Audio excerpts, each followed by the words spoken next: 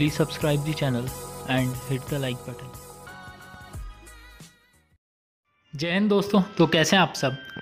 एक मेरे फ्रेंड ने किसी ने कमेंट किया था और बोला था कि भाई, जय हिंद दोस्तों, बोला करो हेलो फ्रेंड्स की जगह।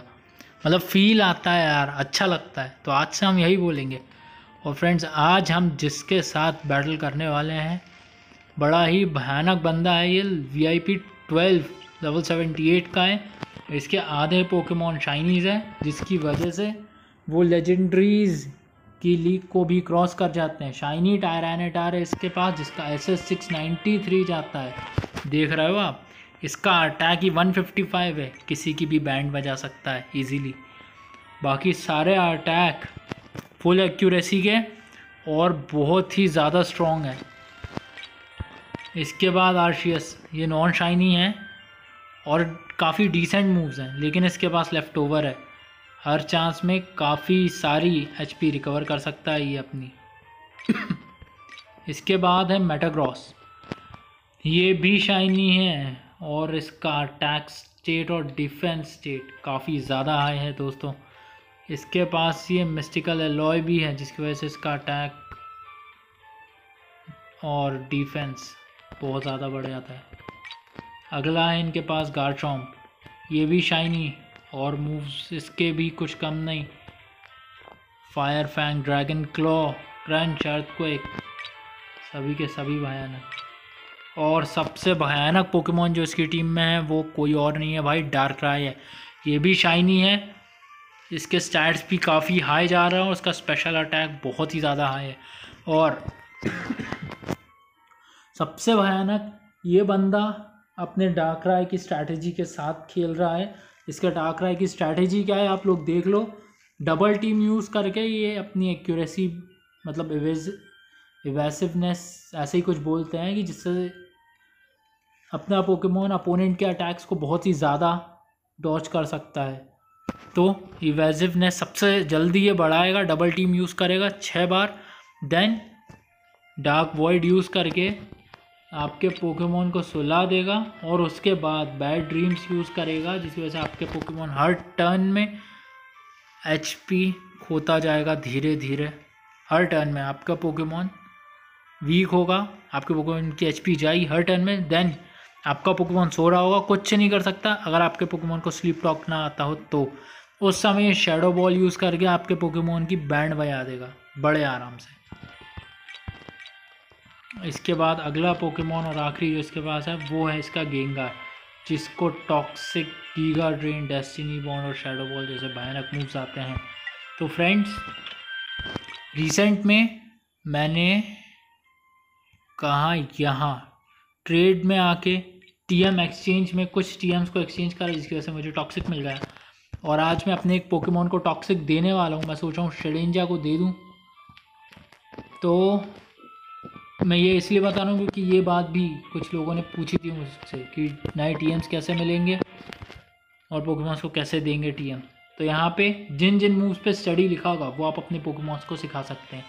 टॉक्सिक पे स्टडी लिखा है तो मैं लीच लाइफ की जगह टॉक्सिक सिखाने वाला हूँ। क्योंकि यार लीच लाइफ इतना कुछ ज़्यादा काम में भी नहीं आता था। तो चलो, हमारे पोकेमॉन ने टॉक्सिक सीख लिया है और हमारा अपोनेंट गायब हो गया। शिट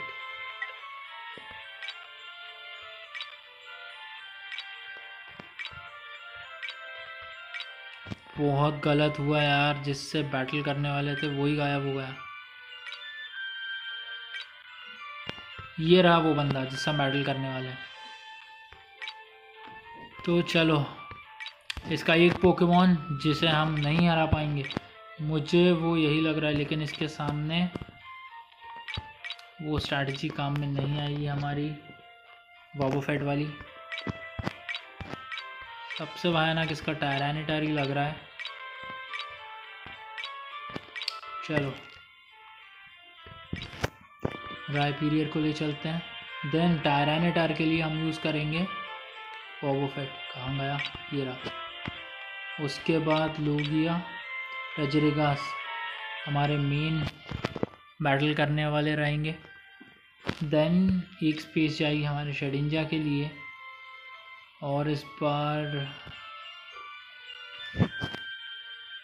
मैं सोच रहा था ड्रैगनाइट को ना यूज़ करते हुए स्मोलैक्स को ले जाऊँ, क्योंकि इस पर कुछ मूव्स का असर नहीं होगा, लेकिन वो बहुत ही ज़्यादा स्ट्रॉन्ग है तो मैं सोच रहा हूँ ड्रैगनाइट को ले चलते हैं। और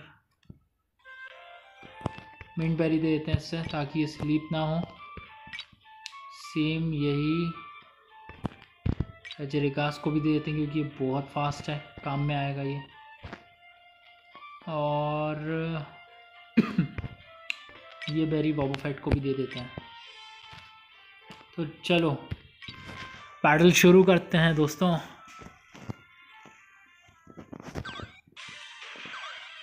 आ गया है शक्तिमान टैरानेटस स्टेल्थ रॉक यूज़ करेंगे।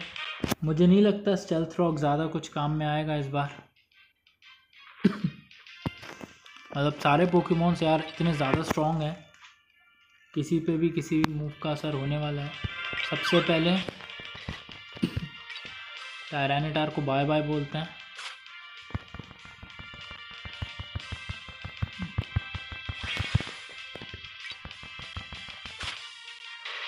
चलो बाय बाय टायरानेटार अब आ चुका है आर्शियस इसके लिए मैं लेके जाऊँगा शेडिंजा को।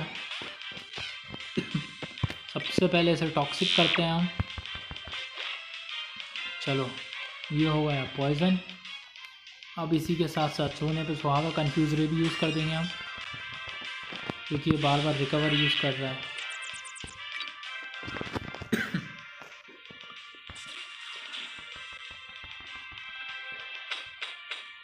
अब फ्यूरी स्वाइप्स यूज़ करते हैं। बस वो रिकवर ना करे यार।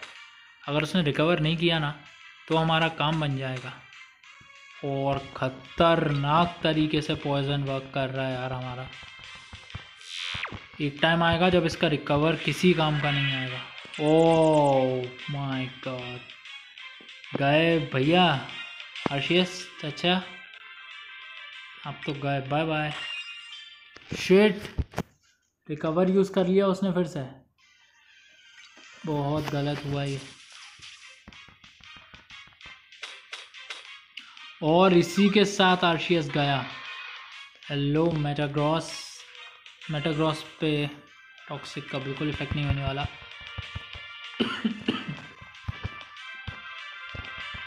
क्योंकि यार steel type Pokemon steel type Pokemons पे टॉक्सिक जैसे मूव्स इफ़ेक्ट नहीं करते बिल्कुल भी। इसको इसी तरह से हराना पड़ेगा।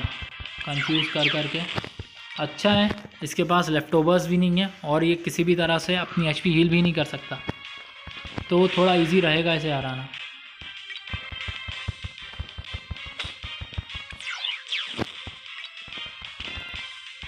आप लोग सोच रहे होंगे, मैंने एक अच्छा खासा अपोनेंट खो दिया पीछे क्योंकि एक बंदा था जिसको हराने में मुझे 69 पॉइंट्स मिल रहे थे। या शायद उससे ज़्यादा कुछ मिल रहे थे। लेकिन फिर भी यार स्टार्टिंग से जिससे बैटल करने का सोचा, उसी से बैटल करेंगे ना। और वो इतना स्ट्रॉन्ग लग भी नहीं रहा था यार।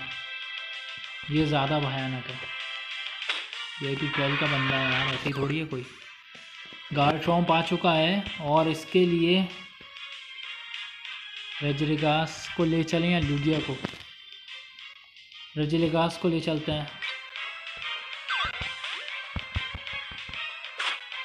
और क्रंच यूज़ किया उसने, आइस पंच यूज़ करते हैं हम। शिट यार, मैंने सोचा था रजे रिगा ज़्यादा फास्ट होगा, लेकिन नहीं। यार कार्टफॉर्म ज़्यादा फास्ट था। बैंड बजा दी यार इसने एक हिट में। बहुत भयानक यार कार्टफॉर्म पर उसका ड्रैगन किया चलो, ये गया। वो पोकेमोन आ गया है जिससे सबसे जिसका सबसे ज़्यादा डर था हमें। और हमने अब तक लुगिया को वो बेरी नहीं दी। बहुत सही यार, एक हिट में निपट गया वो। किसी और की ज़रूरत ही नहीं पड़ी। यार ऐसा वैसा थोड़ी है लुगिया यार हमारा।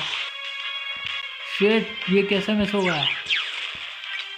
अब आ रही आप आ रहे यार। और ये जीत चुके हैं हम। तो फ्रेंड्स वीडियो पसंद आई है तो चैनल को सब्सक्राइब कर दो वीडियो को लाइक कर दो। एम करते हैं वीडियो पे 500 लाइक्स के लिए। तो फ्रेंड्स प्लीज़ लाइक कर दो।